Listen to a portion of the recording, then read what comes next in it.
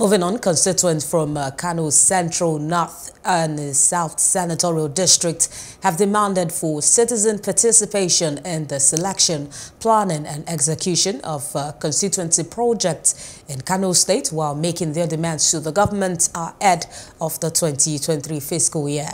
The constituents who represented various youth-led uh, community groups across the local government in the state were led by human rights activists from the Resource Center for Human Rights and Civic Education and making their demands known. As part of their request, they urged the state during the Kano State House of Assembly public hearing on the 2023 budget to pass the free maternal and child health care bill. The citizens also pleaded with the government to ensure the durability of projects across various constituencies in the state to ensure that the populace enjoy the dividends of democracy.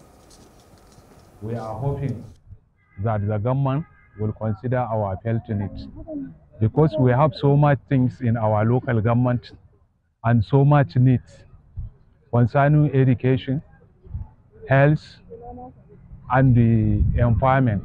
So we need government to construct a youth or women and women vocational center within our local governments in order to let our youth to acquire some certain skills and be educated to shun out the some social bias like drug abuse political thuggery, and some other things.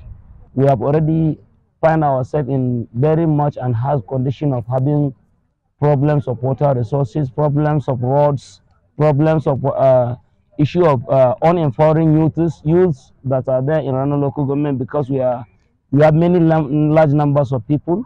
Therefore, we are expecting the house to give us chance to a construction of roads from uh, Rano local government to some different villages like Madachi, uh, like Madachi, Garbawa, Kaswandala, and the rest.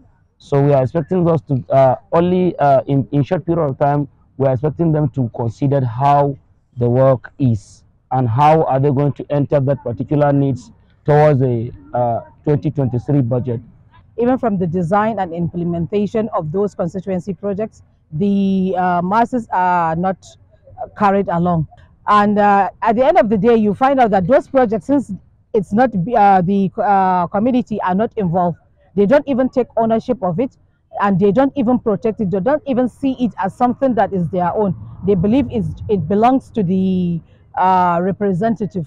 Uh, on the issue of the free maternal health care bill, we want the Kano state government, as a matter of urgency, to pass the Kano state free maternal and child health care bill Unfortunately, Kano State has the highest uh, rate of mortality when it comes to uh, women and children. Hello. Hope you enjoyed the news. Please do subscribe to our YouTube channel and don't forget to hit the notification button so you get notified about fresh news updates.